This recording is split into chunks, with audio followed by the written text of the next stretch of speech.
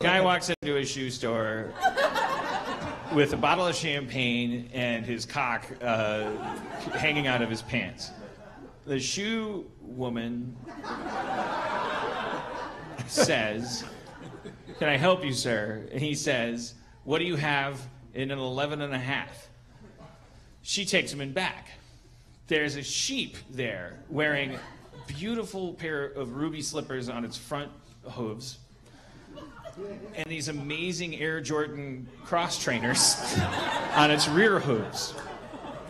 With a, but it's got this gaping mouth for a butthole, a human mouth with teeth and lipstick and a tongue. She says, have at it, and goes back to the front of the store. He's left holding the champagne and his cock. She's